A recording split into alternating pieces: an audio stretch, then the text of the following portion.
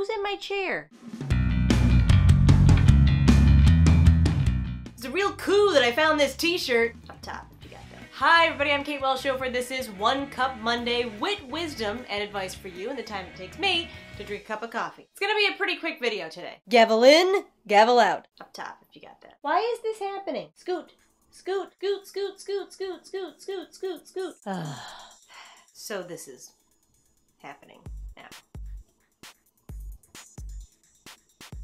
So here's what, you guys. Everything I've known about coffee is wrong. This time of year, I like to get iced coffee, and so I recently went to get iced coffee and I drive up and I say, Hi, can I get a large iced dark roast with a Splenda? So the person at the coffee place says, So that's a large iced dark roast black with a Splenda?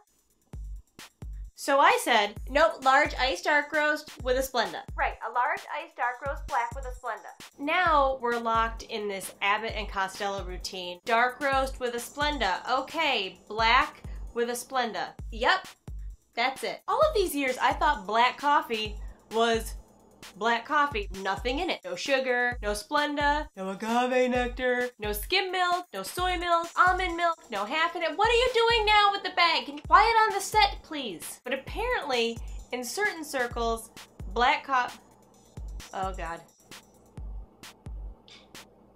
For as long as I've known, black coffee meant the absence of all other items in the coffee, but apparently I was wrong. In certain circles, black coffee just means the color of the coffee. So if you put something in the coffee that does not affect its actual shade, then apparently it's still black. Now I know to expect this. So when I go in and order my coffee and they say black with a Splenda, now I just know what to expect. Black but not. The world is changing so quickly.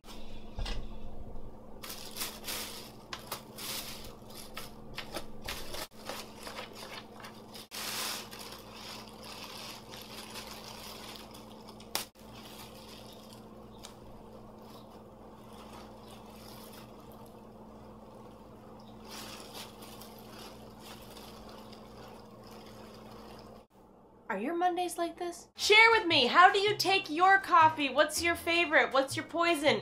Tell me all about it. I can't wait to hear. Anyway, if you like this video, like it, give it a thumbs up, and subscribe to my channel for new videos every Monday, Wednesday, and Friday. Have a great day, everybody, and I'll see you next time.